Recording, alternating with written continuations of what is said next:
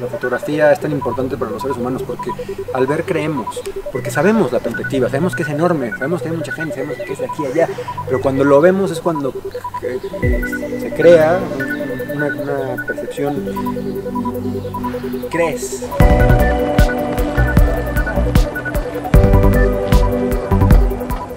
Ser un maker para nosotros es el hacer algo y compartirlo.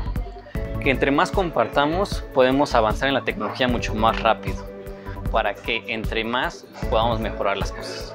En un momento como el que estamos viviendo en el mundo, en el mundo donde hay una desigualdad total, hay sobrepoblación, hay muchos problemas, esperemos que este tipo de tecnología pues, pueda ayudar a cambiar las cosas y generar un cambio.